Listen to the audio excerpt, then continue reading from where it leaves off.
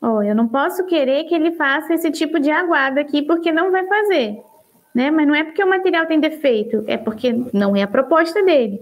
Mas se eu precisar de uma grande aguada, de trabalhar com grandes pinceladas, por que, que eu não posso dar uma primeira camada de aquarela, acertar as minhas manchas e depois vir com detalhamento com esse outro material, né? Explorar o que, que ele pode me dar através da, da, do, que, do que é interessante, né? né? Buscar. Agora, a única coisa que eu acho que a gente não deve fazer é pegar seu material aqui, dar aquela mergulhadinha marota aqui e botar. Sabe por quê? Você vai estar tá molhando o seu, seu feltro aqui e vai estar tá umedecendo a tinta por dentro.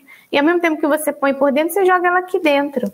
Não é igual isso, né? Ela é, ela vai ter, ela vai acabar rápido quando você molha muito aqui. Se você trabalhar com papel direto molhado, é, a área é muito menor. Ela não vai escorrer para dentro do seu do seu negócio lá, né? Do seu potinho ficar mais num, num cantinho lá e vai diluir só naquele pedaço.